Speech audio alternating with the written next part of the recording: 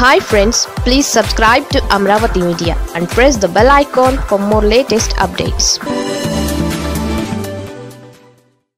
దుష్ట చతుష్టయంతో Amit Shah.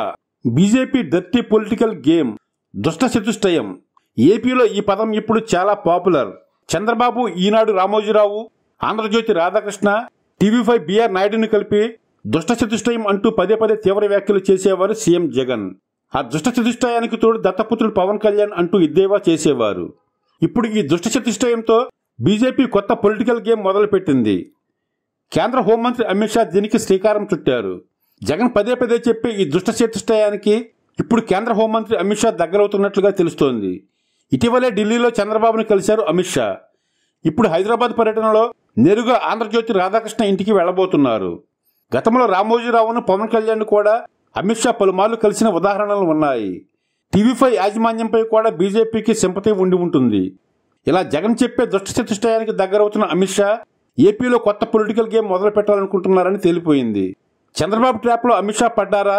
లేక Amit షానే game plan చేశారా అనే దానిపై వైసీపీలోనే భిన్న వాదనలు వినపడుతున్న వేళ అమిత్ షా మాత్రం జగన్ వ్యతిరేకులందరినీ కలుస్తూ వెళుతున్నారు కలుపుకొని పోతున్నారు. మరి దీనిపై వైసీపీ రియాక్షన్ ఎలా ఉంటుందో చూడాలి. అమిత్ షా జేపీ నడ్డా ఇద్దరు వైసీపీ ప్రభుత్వంపై తీవ్ర విమర్శలు చేసిన రెండు రోజులకే కేంద్ర ఆర్థిక శాఖ సహాయ మంత్రి భగవత్ కిషన్ రావు సీఎం జగన్ మర్యాదపూర్వకంగా కలిసి సెలవు కప్పడం విశేషం. కేంద్రంలోని బీజేపీతో వైసీపీ కోరు గొడవలు పెట్టుకోవడం లేదు. కావాలని విమర్శలు చేయడం లేదు.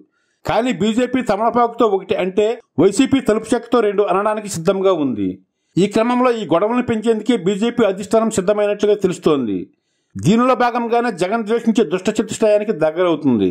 దీని పర్యవసానం ఏపీ రాజకీయాల్లో ఎలాంటి ఫలితం చూపిస్తుందో చూడాలి.